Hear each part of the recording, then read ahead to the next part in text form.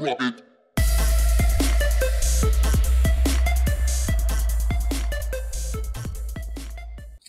guys, this is Ray from YouHookah, and in this video, I'm doing a review on the Onyx Bowl.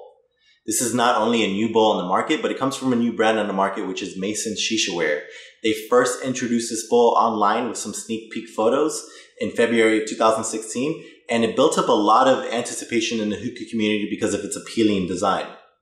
I was lucky enough to grab one of these bowls on the first batch release that came out this August of 2016, and I've been using it a lot, and I think it's an excellent bowl.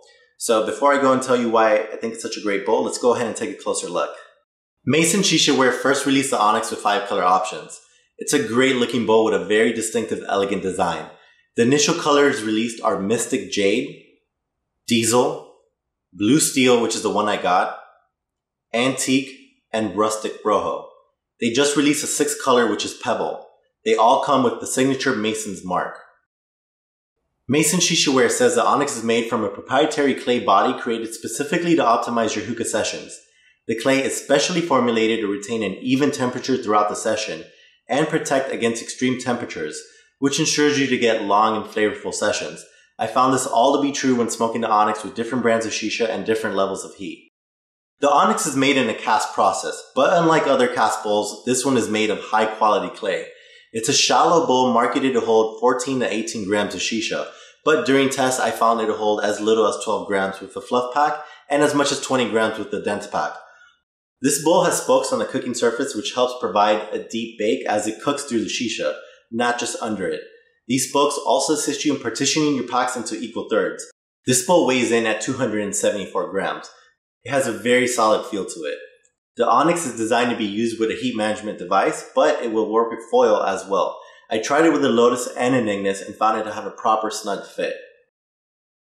Now that you've seen the bowl up close, I'll show you how I did a fluff pack and show you how much shisha it holds.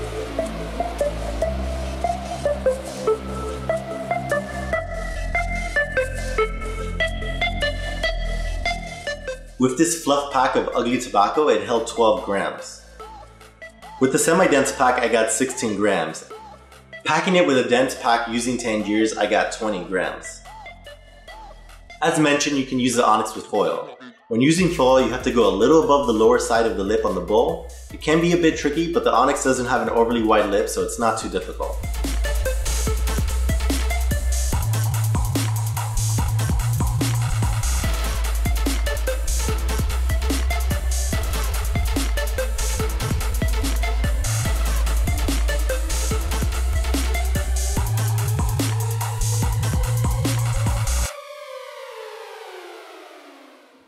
Although the Onyx is made for a heat management device, you can still use it with foil. It is a little tricky to pack because of the lip, but you can make it work.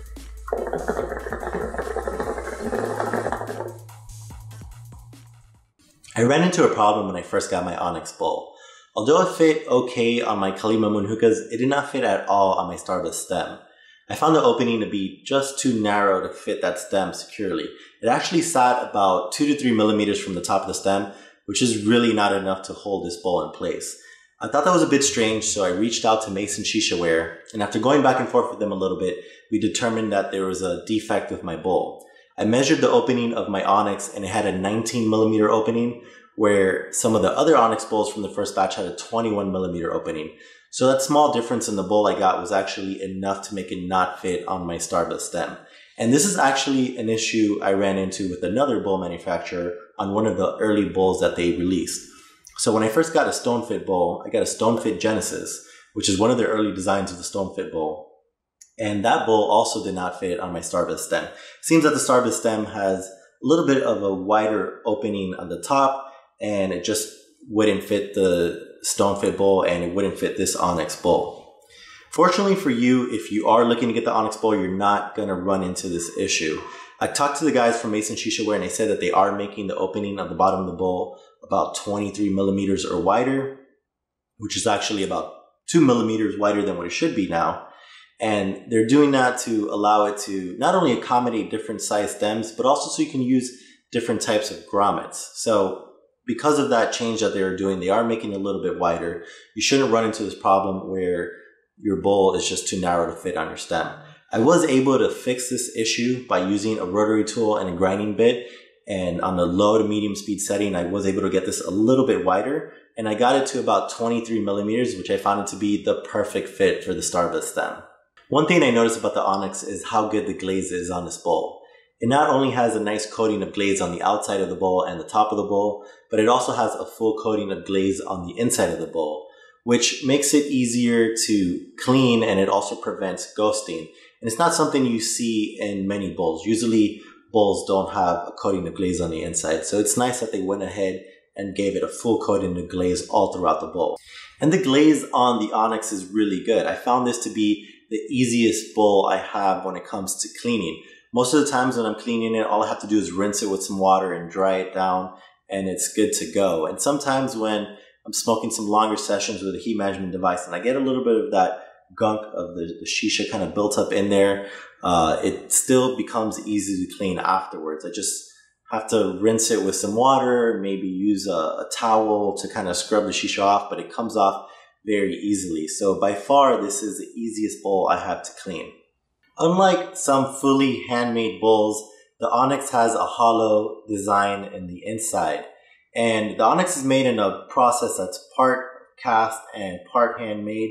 And they purposely designed this with a hollow inside to hold shisha when it drips down. And I gotta say, even though it is hollow, it does have very thick walls. It doesn't feel like it's gonna break at all because it's hollow. So these chambers you see on the Onyx actually help in collecting that liquid that falls in to your base when you're smoking uh, some shisha. So even when you use funnel bowls, that helps prevent a lot of that liquid falling down. That shisha, when it starts baking in, it starts boiling over, and you just get that drip that changes the flavor of future sessions um, when you don't change that water.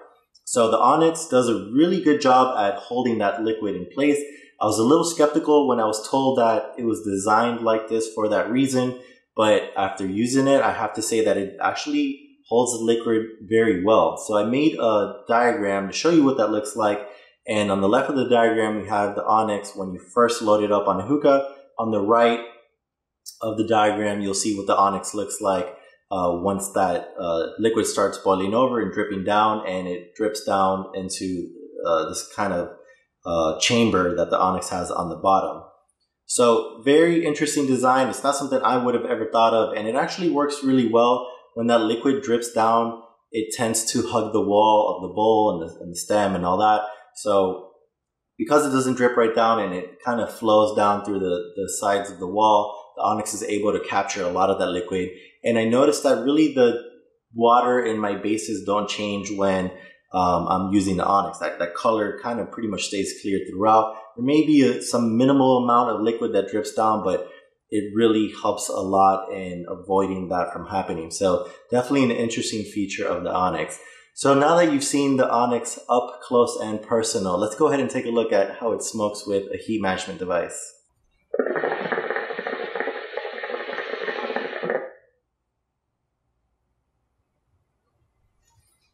So as you see, this bowl rips.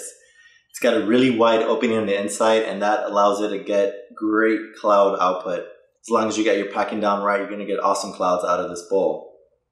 The clay is really good. It's definitely high quality clay. It's able to retain that heat well throughout the session.